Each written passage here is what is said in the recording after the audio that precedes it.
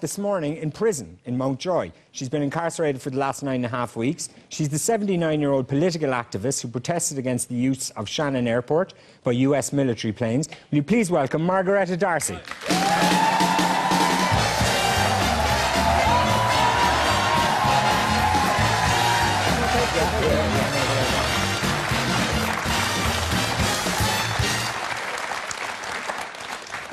Hi, Margaretta. How are you? Hello, Brendan. How are you?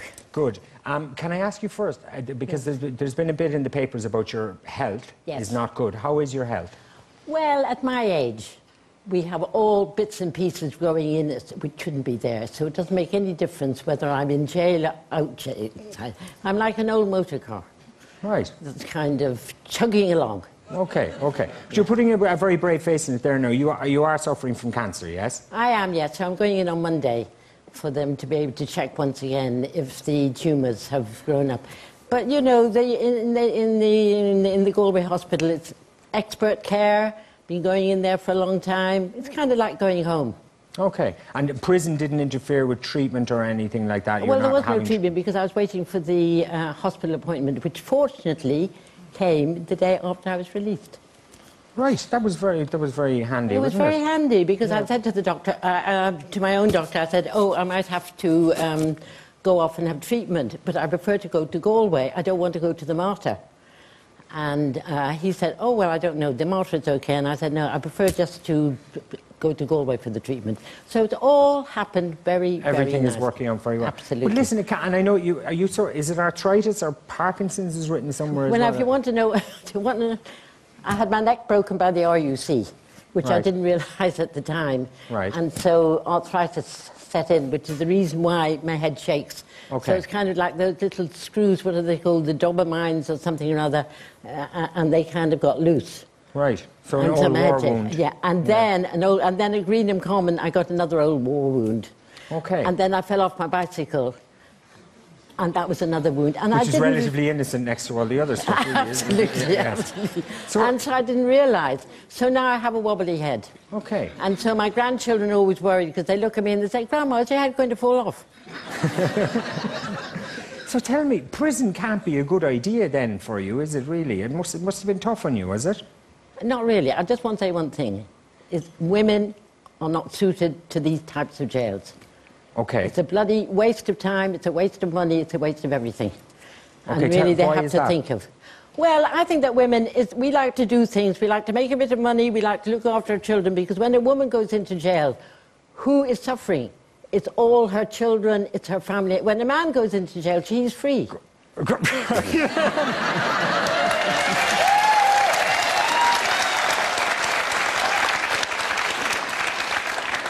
And tell me, what kind of women did you did you meet in there? Beautiful, beautiful women. They're all going to be watching. You are all gorgeous. There isn't a woman in there who is not absolutely gorgeous.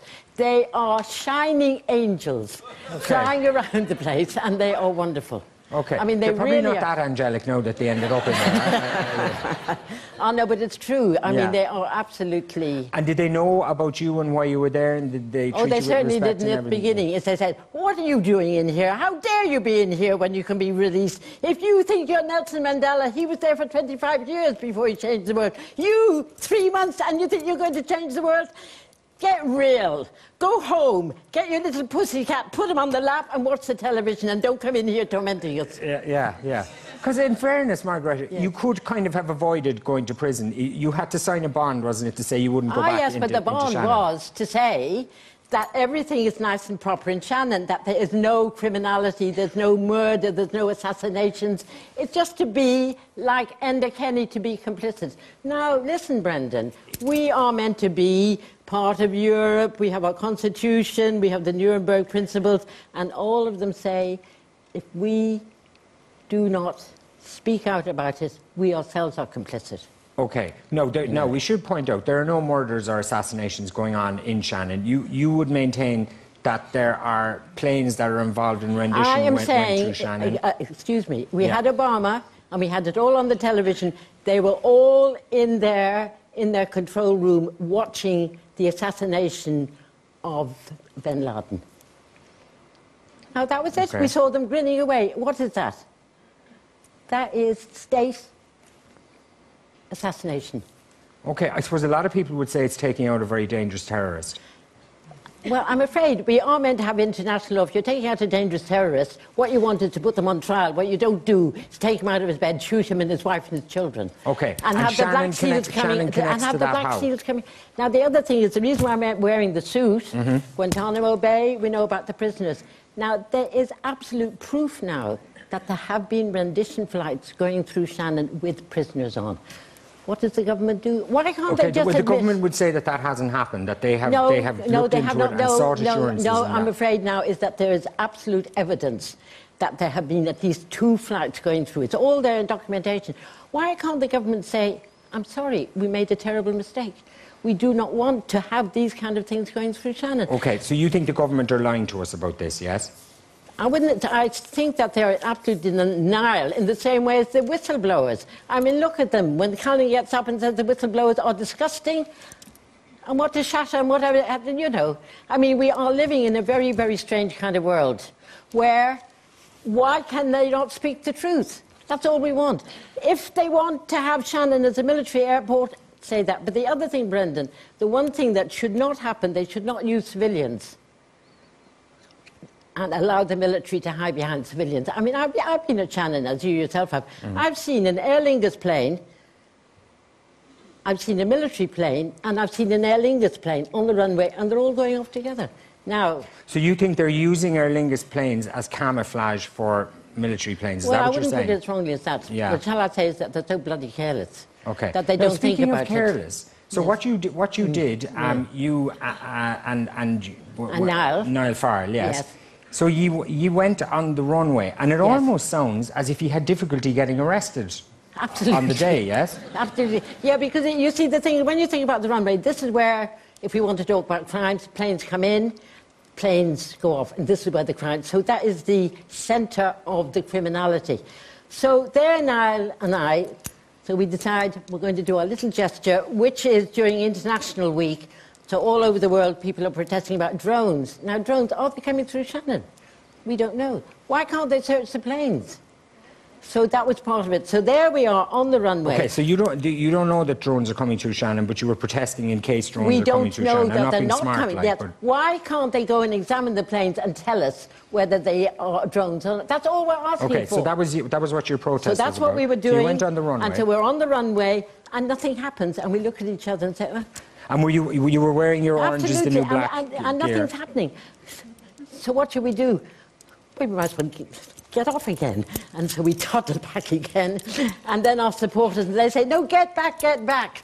And John McGuire rings up and he says, I just would like to inform you that there are two peace activists on the runway. And your woman comes along and says, And who is speaking? And he says, John McGuire, could you spell that? So John is spelling out, Could you spell it again? If they were so concerned about it, you would think two people on the runway, wouldn't they immediately, you know, get a jeep coming along, throw it out of the way, clear the airway? Mm. Nonsense. It is this whole legislative thing. So a little You car comes think, along. I have a theory on it. It's oh, obviously Oh, yes. been slightly embarrassing for, for them that they had to put a 79 year old uh, lady with cancer into prison. It didn't look good, did it? No, no. You don't think that they didn't want to arrest you? That maybe they were hoping if they didn't. Oh, yes, look that's the that- reason why we had to do it again. Yeah.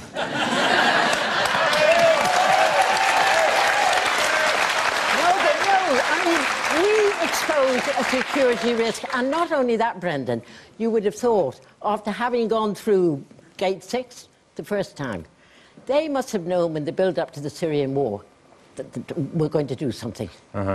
And so we trot in exactly the same gate and trot onto the right, a bit more efficient this time. Okay. Where are the cameras? Okay, so you, you don't even have the element of surprise anymore and they still can't catch you. Uh, no. and, and Margaretta, are you going to go back again? Well, I mean, Brendan, if you and I would like to have a little date on the runway, have a little picnic, and then we won't have to be put into court and be complicit for murder and all those nasty things. I can't take nine and a half weeks out to go in making. Oh, you, would, uh, you, you would uh, not go into and that. No, no, listen, don't you worry. It's all very pleasant and all very nice. Is it very nice in there? You'd really? be, you'd be Mountjoy. You can, do you play football? It sounds like the men's. But you know what, Margaretta? I honestly think I'd be better off in the women's prison. That'd be more my speed in there. I'd say the men's might be a bit I- hardcore for me. No, funnily enough, it's a women's prison is worse. Is it? It's infinitely worse because all things go for the men. They don't want a women's prison. They never wanted a women's prison. They don't know how to deal with the women's prison. So we don't have any officers. We don't have anything. We're treated as second-class citizens. The men, they have all these different types of open prisons, training programs, Right. able to move round from one to the other. But you, you, did, you were doing activities and stuff in there, weren't you? Arts Yeah, no, but that's inside. that? But the women are not allowed out. So you can be a long-term prisoner and you're never allowed out. You don't, have, you, you don't know about money.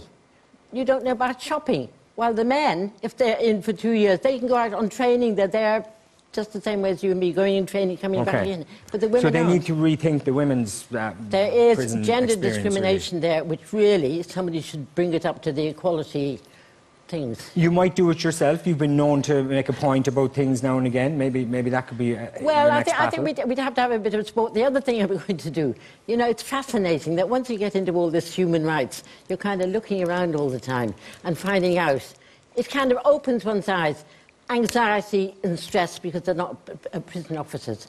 Now, that is, tor- that is mental torture, Yeah. Okay. Okay. you know, Now, as well as the discrimination. Now, that's another crime that One doing. thing that happened while you were in there that caused a little bit of a, a fuss outside that I'm sure you were aware of was that you had a visit from the Auras, which it must have felt like a great gesture of support to you. I know Sabina, the president's Oh, wife, is an oh, old no. friend. Listen, I've what- known Sabina for a long time. Yeah. We're in the theatre, she's in my plays and whatever have you. She comes down. Yeah. And, and not only that, but, But on, did it not feel symbolically it was nice as well that somebody came No, I didn't. I thought to- that was very nice of Sabina as a friend to come along Yeah. and come along. And the other thing that I thought And was very Michael nice. Dee's an old friend of yours as well, but I suppose he couldn't come, could he, given his well, he's not as much of an old friend as Sabina. Okay, Who's right. very warm, emotional, method actress, you know, with Was the... she a method actress, Oh, yes? she was. She was with Deirdre O'Connell at the Focus Theatre. Right. You know, and oh, no, she feels a lot. And not only that, but on Saint, the eve of St. Patrick, she sent down a most beautiful bowl of shamrock. And it's to, so to the prison. Yeah. Lovely. And that was absolutely beautiful. Because I think you've got to understand, once you're in jail, which I hadn't realised, you're actually excluded. So they go on about we're all meant to be cherished and we're all meant to be Yeah. equal and St. Patrick's Day. And inside the jail, it's as if it was an ordinary jail. yeah, I don't, don't I mean, that be mean, is- but I suppose is that half the point of being in prison that you are kind of excluded from Well, it shouldn't be, because what, aren't we meant to be a Christian country? And isn't one of the things we're supposed to be kind to prisoners, visiting prisoners and cherishing? I think it's a bloody disgrace, honestly, that actually that we are told to Christmas, Easter, St. Patrick's Day, nothing happens in there. Okay, all right. You know. Do you, I did hear you were making teddy bears in there, were you? Uh, not only that, but I have a little teddy bear for your You have a daughter. teddy bear for yes. me? Now Ah, let me let me that. show you this little teddy bear.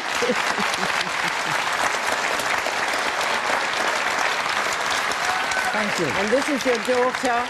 And this has been very much a collective experience because Yeah. once you're in jail and you do something and somebody says, oh, put a little bracelet I see, okay. and put a little green thing. And look Right. at his little hat. So all, all, all the female prisoners added to this. Absolutely, yes. Margaretta, And I didn't realise with two daughters, but I'll knit you another one and send it to your other daughter. will daughter. you do, please? I said, okay. now what you colour can, would knit- she You like? can knit another one the next time you're back inside, Absolutely. maybe. And not only that, but if I go in for longer, I will knit one for all of you.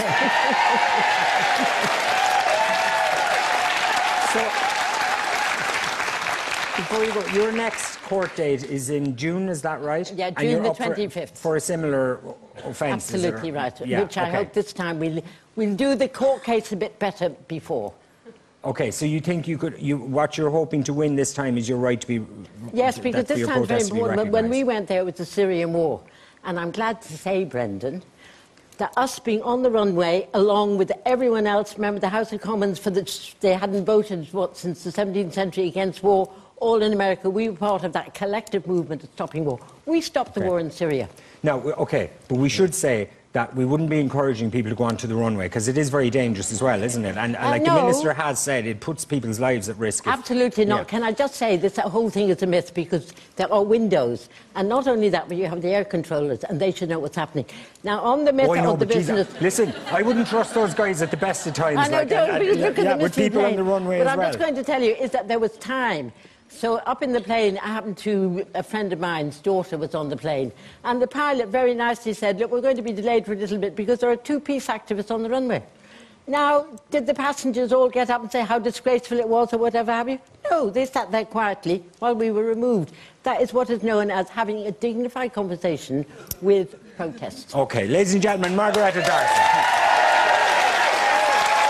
I just have to say, no, I just have to say to all the people, and I just have to say to all the women, to all Sorry, the what? women who are watching me in Cedar. Oh, sorry, you want how to say you? to- yes. And about the soup, fantastic soup makers, fantastic salad makers, and the shop. It's about time it had good, healthy food.